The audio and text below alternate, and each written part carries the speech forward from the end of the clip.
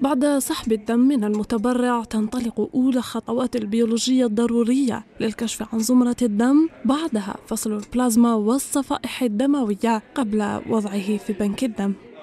نشوفوا أول حاجة نشوفوا le poids تاع هذيك la poche اللي جاتنا. نعلقوها تريح un bon moment باش تكون عندنا reproductivité مليحة تاع les plaquettes باش لأنه الصفائح هما اللي يحتاجوهم بزاف surtout صحاب ال cancer.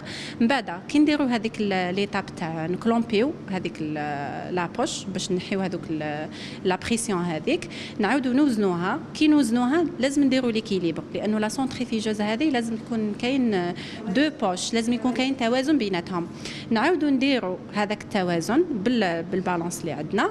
ندخلوها في la centrifugeuse نديروا le programme 2 اللي نخدموا به نحو به ال PFC لأنه عندنا 3 produits سيخضع الدم الذي تم التبرع به للفحص بغرض الكشف عن الأمراض التي تتنقل عبر الدم مثل التهاب الكبد الفيروسي وفيروس نقص المناعة البشري. وسيتلقى المتبرع إخطارا إذا كانت نتيجة أي من هذه التحاليل إيجابية. اولا نسحبوا منه كمية عينة صغيرة. هذه العينة نقوموا لها بتحاليل.